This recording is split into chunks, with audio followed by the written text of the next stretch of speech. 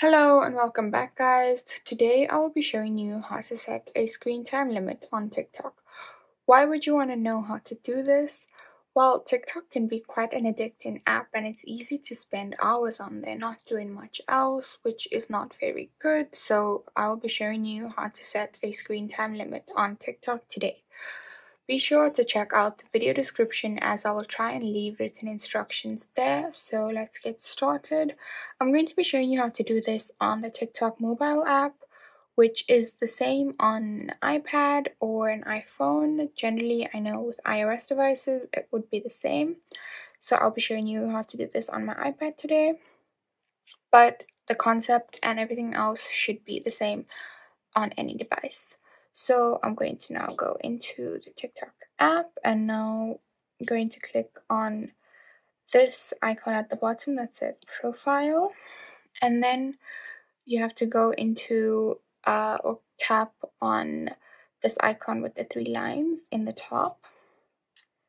And when you have that what you go into is settings and privacy. So I'm going to tap that. And now if you scroll a bit uh, you should find that under the content and display tab, there should be a tab that says screen time. So tap on that.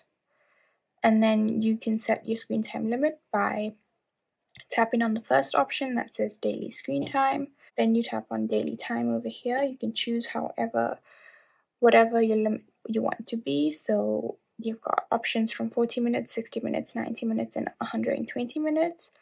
I'm just going to leave it at 60 minutes and then you just tap on turn on and then you will be directed to set a passcode such that if you do end up spending the restricted or allocated screen time on TikTok, then you will have to enter a passcode to keep watching. So I'm just gonna enter whatever passcode.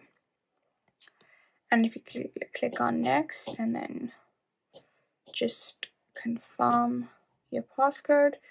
You will then set your daily screen time limit on TikTok. And there you have it, guys. If you wanted to know how to set a screen time limit on TikTok, this is the easiest way I know how. And if you know of another way, then leave a comment below and make sure to subscribe for more videos.